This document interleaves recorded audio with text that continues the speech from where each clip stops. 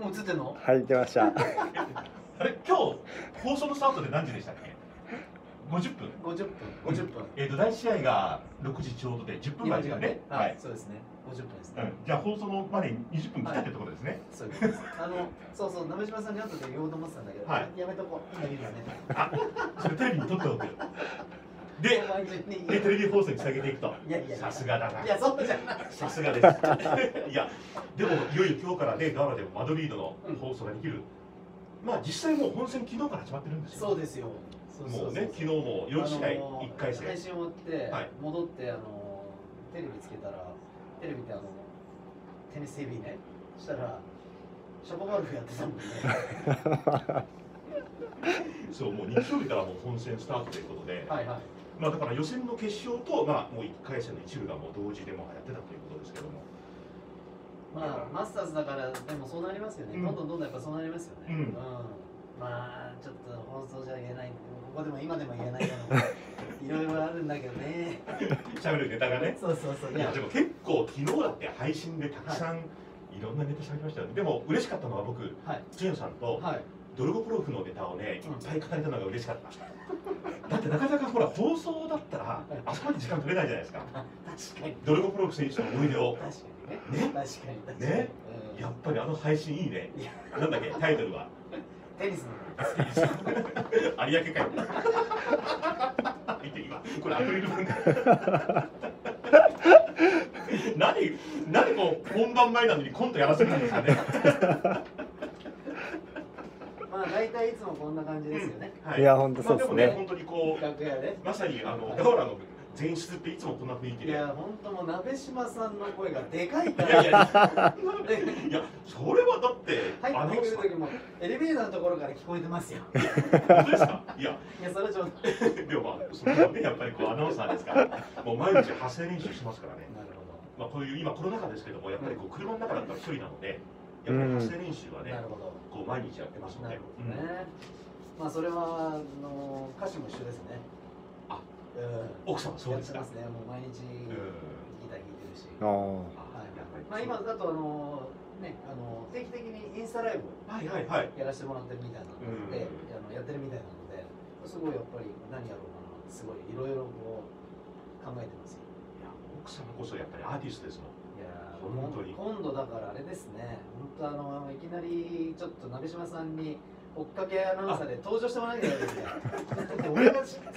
そうそう昔そう。今週第1位の俺野陽子さんは倉敷市民会館でコンサートの後こちら倉敷 ID スキャンに来ていただきました。ってことやってたんですよあの昔のねあのうん「ザ・ベテルン」っていう歌番組のうん追っかけマンねはい。あの登場する歌手の方がこう地方にいるときに、はい。そこの地地方の放送局のアナウンサーが、ね追っかけアナウンサーということではいはいそういうことやってたんですよ私なもんかでも僕もあのベスト10は結構ね、うん。ちっちゃい時見てましたけどもハプニングすごいありましたよねいやそうですで僕もやっぱり子供の頃から、うん。あのやっぱり黒柳徹子さんとはい。久米宏さんのベスト10が大好きで、はいはいはいはい。だからあの系列に入ったんですよ。そうなんだ。そうだ。けど、まあ、もう僕が本当にもうベスト10追っかけ前に出てうん。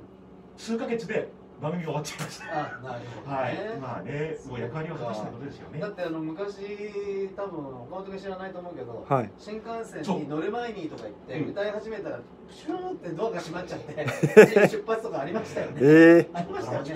ありましたね。ありましたよね。ありましたありました。ちょうど今通過するからみたいな。ー、そうなんですか。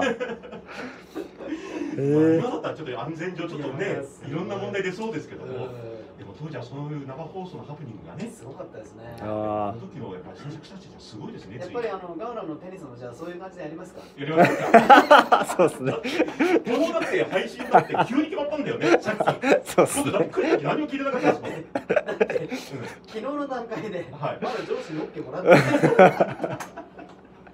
しかも今これカメラ持ってるね岡本ディレクターなんですけども彼この後近くに座るんですよねこんなことやってていいんですかねいいかこんなことじゃないですよいやだってタクタクなんて相当いろんなことに神経使う大事なことですからね確かに確かにね本当いやもう進行とかもそうだしそうねですうんねあとタイムキーパーもあるし声も入ってくる現地からの指示も受けなきゃいけないしねうんいろいろ大変な仕事なんですよお二人にお任せですよ。すごいねでも皆さんも本当ねユーティリティプレイヤーですよね。えこれって今今すでに流れてる流れてます。のへえ YouTube で？YouTube で。うわ。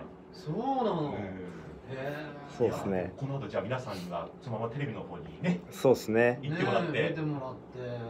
本当ですね、うん。でもさすがにあれでしょ？10分これ10分ぐらいで止めないとそうそうですね。ちょっと。僕だってまだってまだだってまだですから。ね。スタジオに行かなきゃいけないので。そうですね。はいスタジオに行くらいに行けないいやいやスタジオにさっきからやるルーティンがあるじゃないですか。ルーティン。あるんですか例えば資料をここに置くとかああなるほど。いろいろ。いや確かに。ほらねボリュームをこうちょっと。いやルーティンっていうからこう。あそれはなですか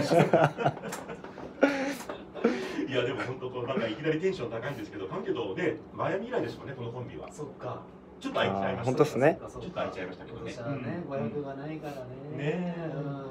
その代わりこういう形でそう。ちょっとそうですね。うん、逆にこういう環境だからこそ、こういうアイデアも生まれてくるわけだから、はいはい。うん。逆にこれプラスにしたいですよね。確かにね。ねまあでもあれでしょ？マドリードってあのどれぐらいお客さん入れるかってオフィシャルになってましたなってなかったですね。ですよね。うん、現状では多分また日によって変わってくるんだと思うんですよ。うん、なんかね前もちょっと話したけどなんか3割ぐらいは入れたいみたいな、きあのうん。希望を持ってるみたいなんだけど、うん。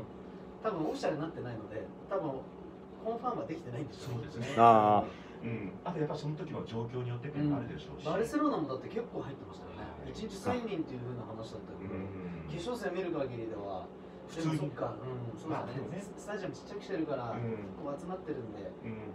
まあでも相手だしなやっぱ1000人ぐらいなのかなまあでもね、はい本当にこうバルセロナ同様ですけども、このマドリードも今年は開かれて、うん、そうですね。でね。でマドリードはやっぱりね、あの今もそうかもしれないけど、やっぱり結構あのコロナの感じが多いからね、結構大変だと思うけど。うん。うあれこれできそうなのでよかったですけどはいはい、はい。